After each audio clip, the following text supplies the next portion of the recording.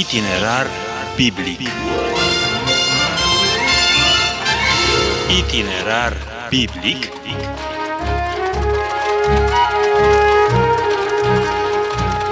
Itinerar biblic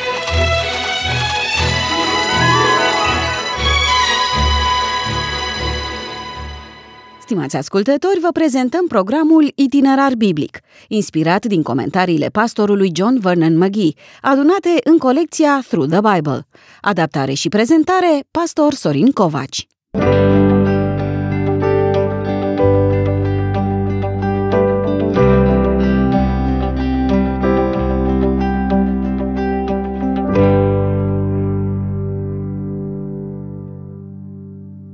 Dragi prieteni, așa cum am văzut, împărăția cerurilor nu este doar un concept abstract, o nouă ideologie pe care o accepti în funcție de simpatiile sau preocupările pe care le cultivi. Împărăția cerurilor este o realitate pe care nu poți să o ignori. Oricine o respinge nu face altceva decât să ajungă la distrugere. Domnul Isus a portretizat această împărăție în diferite moduri pentru a atrage atenția asupra ceea ce este ea care este valoarea ei, cum trebuie să ne purtăm în raport cu ea și cum trebuie să fim în interiorul ei.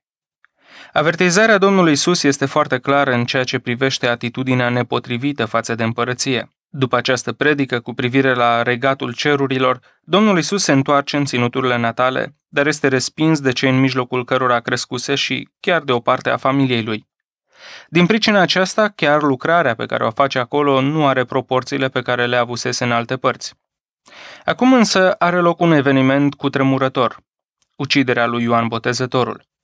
Să nu uităm că suntem la capitolul 14 din Evanghelia după Matei. Să citim deci ce relatează Matei cu privire la acest incident. În vremea aceea, cârmuitorul Irod a auzit vorbindu-se despre Isus și a zis slujitorilor săi, Acesta este Ioan Botezătorul, a înviat din morți și de aceea se fac minuni prin el căci Irod prinsese pe Ioan, îl legase și îl pusese în temniță din pricina Irodiadei, nevasta fratelui său Filip, pentru că Ioan îi zicea, nu-ți este îngăduit să o ai de nevastă. Irod ar fi vrut să-l omoare, dar se temea de norod, pentru că norodul privea pe Ioan ca pe un proroc. Dar când se prăznuia ziua nașterii lui Irod, fata Irodiadei a jucat înaintea oaspeților și a plăcut lui Irod. De aceea i-a făgăduit cu jurământ că îi va da orice va cere. Îndemnată de mamă sa, ea a zis, Dă-mi aici, într-o farfurie, capul lui Ioan Botezătorul. Împăratul s-a întristat, dar din pricina jurămintelor sale și de ochii celor ce ședeau la masă împreună cu el, a poruncit să îl dea. Și a trimis să taie capul lui Ioan în temniță. Capul a fost adus într-o farfurie și dat fetei care l-a dus la mamă sa. Ucenicii lui Ioan au venit de i-au luat trupul, l-au îngropat și s-au dus de a-u da de știre lui Isus. Iată că ne întâlnim din nou cu acest controversat personaj, Irod. Din câte putem vedea, era un om superstițios. Apropo, sunt mulți care confundă superstiția cu credința. Ei bine, acest om este o dovadă că a fi superstițios nu este sinonim cu a fi credincios. Mai sunt și cei care susțin că superstiția nu mai este de actualitate. Ea nu este compatibilă cu stadiul de civilizație de astăzi. Oare? Atunci, unde încadrăm astrologia sau horoscopul atât de frecvent consultat? Dragii mei, cred că oamenii fac confuzii grave în ceea ce privește viața lor spirituală. Irod este o mărturie în acest sens. Să vedem dar ce se întâmplă cu el. În primul rând, dacă am privi în arborele lui genealogic, am descoperit o familie care nu a fost preocupată de altceva decât de ea însăși și prin orice mijloc a ținut să domnească, să conducă. Au fost autorii multor nedreptăți și înșelăciuni, trădând pe oricine ar fi fost nevoie pentru a dobândi ceea ce voiau. Irod este produsul unei astfel de familii. O persoană decăzută, întruchiparea vicilor și slăbiciunilor umane. Acesta este Irod. În momentul descris de Matei, Ioan era deja mort. Irod trăia acum cu negrele amintiri a ceea ce făcuse. Motivul pentru care el îl închisese mai întâi pe Ioan a fost demascarea publică a păcatelor sale. Mai cu seamă faptul că luase de soție pe cea care fusese soția fratelui lui. Din acest motiv, Irod l-a închis pe Ioan, însă se temea să-l ucidă deoarece Ioan era iubit de oameni și incidentul ar fi putut aduce o revoltă. Dar vine o zi de petrecere în care fica lui vitregă dansează pentru el. Datorită euforiei cauzate de băutură și de dansul senzual, el promite să satisfacă orice cerere a fetei. Aceasta, la îndemnul mamei ei, cere capul lui Ioan și ea fiind deranjată de ceea ce spunea el. Irod, un orgolios care nu vrea să piardă respectul celor asemenea lui, poruncește în cele din urmă să fie tăiat capul lui Ioan. Aceasta este istoria sfârșitului a celui care este descris de Domnul Isus ca fiind cel mai mare din cei născuți din femeie. El a fost însă un neprihănit, care nu a făcut compromisuri cu păcatul. Dar Irod și familia lui, soția și fica acesteia, sunt exemple ale decăderii umane. Umanismul susține că omul are totuși o constituție morală sănătoasă și doar circumstanțele sunt acelea care determină răul pe care îl face. Sunt mulți susținători ai acestei opinii și astăzi. Mereu auzim lucruri oribile care se petrec cu semenii ai noștri, iar scuzele sunt jalnice. De cele mai multe ori, vinovații invocă probleme din trecutul lor, din copilărie, circumstanțe care fac din ei în cele din urmă victime care trebuie mai degrabă compătimite și nu condamnate. Sunt sigur că, după standardele unora, Irod trebuie mai degrabă compătimit pentru ceea ce a făcut. Dragii mei, într-un anume sens, este de compătimit. Pentru că este o victimă, o victimă a Domnului Întunericului. Dar să nu uităm că el a ucis chiar șansa reabilitării lui. Ioan a fost glasul care i-a arătat cum este privit de Dumnezeu. Dragii mei, aceasta este ceea ce contează. Nu cum ne privesc oamenii, nu cum ne privim noi, ci cum ne privește Dumnezeu. Dacă în ochii lui Dumnezeu suntem cum trebuie, oamenii nu au prea multe de spus. Fiecare om este responsabil pentru alegerea pe care o face. Dumnezeu nu forțează mâna nimănui. El lasă la latitudinea noastră în ce tabără vrem să fim. El ne face o invitație plină de dragoste, dar nu ne obligă la nimic. Totul depinde de noi. Din acest punct de vedere, nici Irod, nici alții asemenea lui nu au scuze. Cei care lasă răul să intre în viața lor vor descoperi că vor deveni foarte repede robii lui. Domnul Isus a venit să aducă eliberarea. Lumea în care se afla însă era una care l-a respins. Chiar și Irod era acum pe urmele lui. Acesta este și motivul pentru care pleacă din acea zonă. Isus, când a auzit vestea aceasta, a plecat de acolo într-o corabie ca să se ducă singur la o parte, într-un loc pustiu. Noroadele, când au auzit lucrul acesta, au ieșit din cetăți și s-au luat după el pe jos. Domnul Isus nu a plecat din lașitate, ci pentru că nu voia ca Irod să intervină în vreun fel în desfășurarea planului său, pentru că, vedeți, Domnul nu reacționa la ceea ce se întâmpla. El avea agenda lui, planul lui, a cărui împlinire o urmărea. Deja popularitatea Domnului atinsese cote foarte înalte. Chiar dacă el a plecat de acolo cu o barcă, mulțimea a călătorit pe jos pentru a fi acolo unde era el. Oare ce îi atrăgea pe acei oameni? Cred că ceea ce ei găseau la Domnul Isus era foarte diferit de ceea ce le ofereau fariseii și cărturarilor. Domnul Isus oferea compasiune și dragoste veritabilă. Era în permanență preocupat de ei și de binele lor. Oriunde mergea, mulțimile mergeau după el pentru că vedeau sinceritate și neprefecătorie. Când a ieșit din corabie, Isus a văzut o gloată mare. I s-a făcut milă de ea și a vindecat pe cei bolnavi. Se pare că au fost foarte mulți cei care aveau nevoie de vindecare, deoarece se apropia seara și se pare că Domnul încă nu terminase cu ei. Dar, vedeți, ce mare diferență este între grija Domnului Isus față de oameni și grija pe care o avem noi unii față de alții. Ucenicii care erau și ei, oameni ca și noi, cu o gândire foarte pragmatică, identifică imediat o posibilă problemă. Când s-a înserat, ucenicii s-au apropiat de el și au zis, Locul acesta este pustiu și vremea iată că a trecut. Dă drumul noroadelor să se ducă prin sate să-și cumpere de mâncare. Dar Domnul Isus nu este de aceeași părere. N-au nevoie să plece, le-a răspuns Isus dați-le voi să mănânce. Ei bine, tocmai aceasta era problema ucenicilor. Ei făcuseră deja evaluarea resurselor lor și aveau soluția. Să meargă în altă parte. Să se descurce singur. Este important să observăm această atitudine pentru că o avem și noi deseori. Nu de puține ori, Domnul ne invită pe noi să facem anumite lucruri. Sunt situații în care oamenii așteaptă hrană, așteaptă cuvântul lui Dumnezeu, iar noi ne declinăm responsabilitatea și spunem și noi, la fel ca ucenicii, să se descurce fiecare cum poate. Este un alt aspect aici pe care doresc să-l observăm și anume că nu întâmplător Domnul îi implică pe ucenici.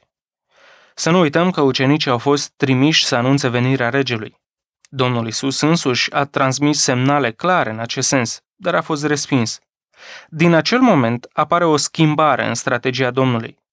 De acum el investește mult mai mult în ucenici, cei care aveau să continue lucrarea pe care a început-o el. De acum ei erau în centrul atenției lui. Ei erau tot mai mult implicați în lucrarea pe care o făcea. Acesta este și motivul pentru care Domnul le cere lor să hrănească mulțimile.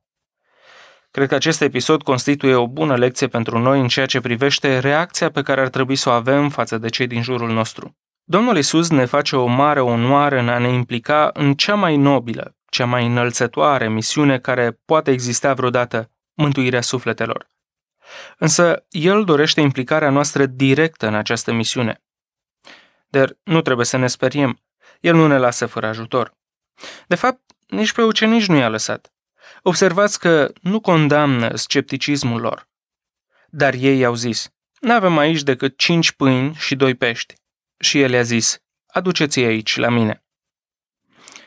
Un alt lucru pe care trebuie să-l observăm este faptul că Domnul acceptă, de fapt chiar solicită contribuția ucenicilor. Nu contează cât de mică este ea, numai că, observați, este tot ce aveau. Ei spun, tot ce avem sau n-avem aici decât atât, cinci pâini și doi pești. Dumnezeu ne așteaptă cu tot ce avem. Nu contează cât de mult sau puțin este.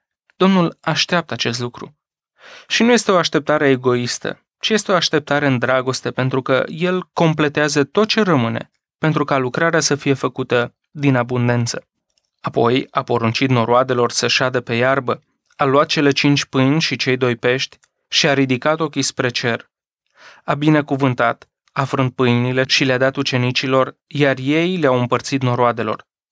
Toți au mâncat și s-au săturat și s-au ridicat 12 coșuri pline cu rămășițele de fărâmituri. Am spus abundență și este exact ceea ce s-a întâmplat. Acolo unde Dumnezeu binecuvântează, nu este sărăcie, pentru că El nu binecuvântează cu zgârcenie.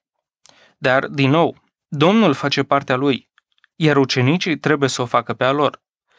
Oare care a fost reacția ucenicilor când au văzut că nu se mai termină pâinea și pește din coș? Uimire? încântare. Nu ați avut niciodată această experiență? Am fost în situații în care, în mod pragmatic, șansele de reușită erau practic inexistente. Dar când Dumnezeu și-a dat binecuvântarea, ea a venit din abundență. Nu reușeam decât să asistăm uimiți eu și ceilalți lucrători la ceea ce Dumnezeu făcea în mod atât de minunat. Bineînțeles, și noi a trebuit să ne facem partea. Dragii mei, această minune a Domnului, pentru că este o minune, este cu atât mai uimitoare cu cât nu este vorba despre 100, 500 sau 1000 de persoane. Este vorba aici despre un număr mult mai mare. Cei ce mâncaseră erau ca la 5.000 de bărbați, afară de femei și de copii. Oamenii aceia cu siguranță nu mâncaseră mai nimic în acea zi. Amintiți-vă că ei nu au venit pregătiți pentru acea călătorie. Domnul Isus trecuse marea pentru a scăpa de mulțime, dar ei au mers imediat după el însă li se dă atâta hrană încât mai rămân și resturi. Mă gândesc acum la mulțimi mult mai mari de oameni care au nevoie de o hrană pentru sufletele lor. Oare suntem noi în stare să ducem această hrană pentru inimile lor? Cu siguranță Domnul așteaptă pâinea și peștii noștri pentru a binecuvânta și pentru a hrăni aceste mari mulțimi. Însă, suntem noi gata să le dăm? Iată însă că se încheie acest episod. Domnul Isus își îmbarcă ucenicii și trimite de cealaltă parte a mării.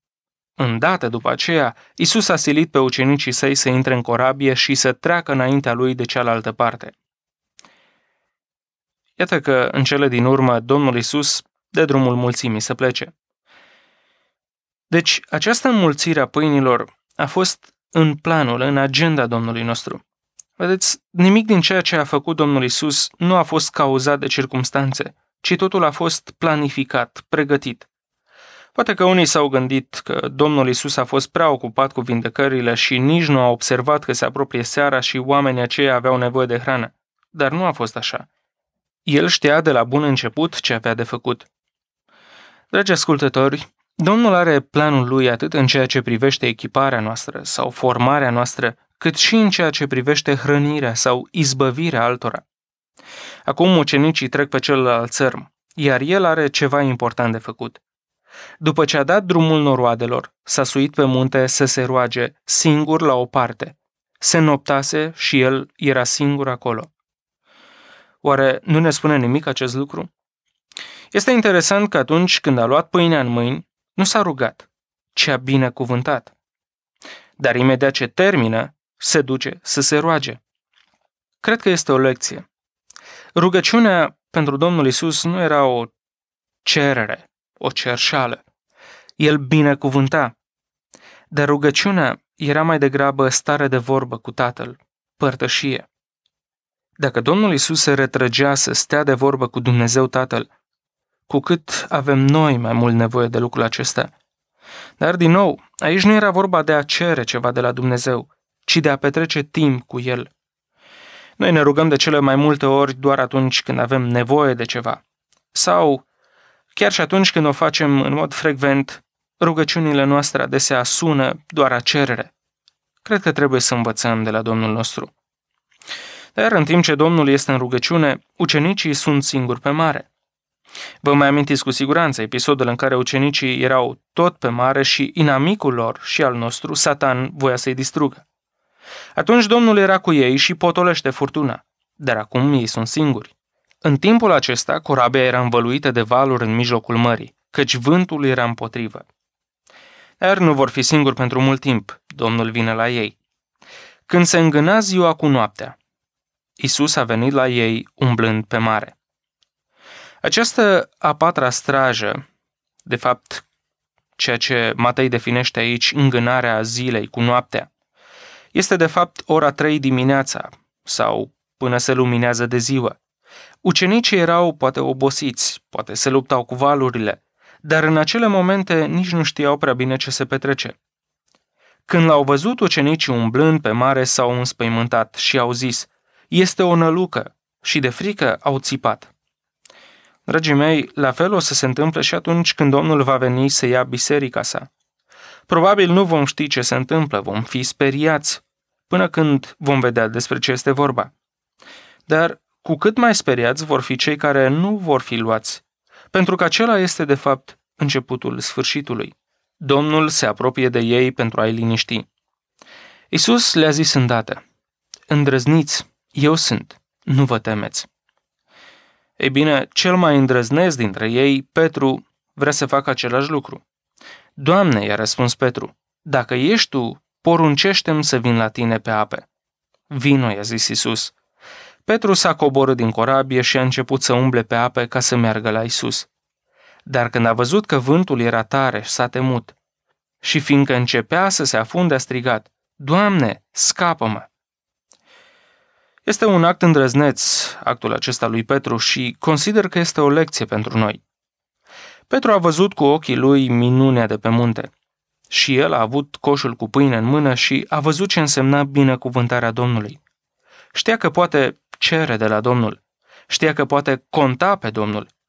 Chiar dacă nu a mers până la capăt, el a fost singurul care a pășit afară din barcă. Dragii mei, am auzit numeroase comentarii cu privire la acțiunea lui Petru. Era acuzat de mândrie sau spunea unii că teama l-a îndemnat la un gest disperat. Sau era acuzat pentru necredința lui care l-a făcut să se scufunde. Ceea ce Domnul Isus Hristos îi spune cu privire la credința lui nu este o admonestare, ci este mai degrabă o mângâiere. Nu știu dacă acesta este ceea ce trebuie să vedem din pasajul acesta. Cred că acțiunea lui este mai degrabă o lecție pentru trecere la acțiune. Vedeți, corabia era cuprinsă de valuri. Ei nu erau siguri dacă este sau nu este Domnul și din punct de vedere rațional era mai indicat să stea acolo. Dar dacă era Domnul, dacă El este Cel care vine pe ape, nu este oare mai sigur cu El pe ape decât într-o corabie în mijlocul furtunii? Poate ne-am obișnuit prea mult să ne angajăm numai în acțiuni sigure, acolo unde rațiunea noastră, acolo unde planul nostru, strategia garantează reușita. Ei bine, Petru ne provoacă la a păși pe ape. În această lume este nevoie să pășim pe ape. Lumea este asemenea apelor. Adesea este agitată, învolburată. Sunt valuri mari, sunt necazuri, sunt pericole. Da, sunt pericole. Dar Domnul este acolo. Domnul este și El pe apă și El umblă prin această lume. Și El are mâna întinsă către noi. Atunci când începem să ne scufundăm, El este acolo și, cu dragoste, nu ne admonestează. El ne mângâie, ne încurajează. Dragii mei, este un îndemn pentru noi. Este un îndemn să ieșim din corabia noastră și să pășim către cei care sunt în afara ei. De multe ori, chiar dacă suntem pe o corabie în furtună, este mai comod să rămânem acolo decât să pășim în afara ei. Ei bine, Petru ne provoacă. Este pentru formarea noastră și izbăvirea multora. Deci, să ieșim din corabie.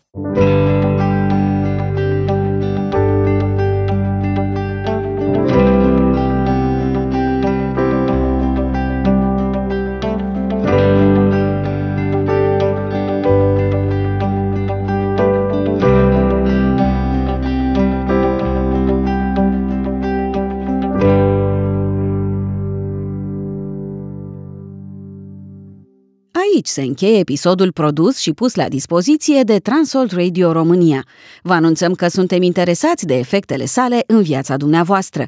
De asemenea, că puteți solicita copii ale episoadelor în format MP3 sau materialele scrise în format electronic.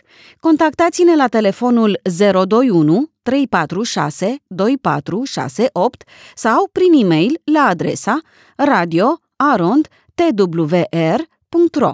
Vă mulțumim!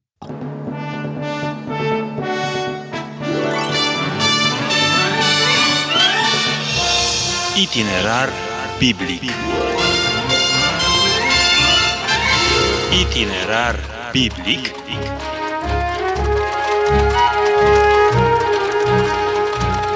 Itinerar biblic.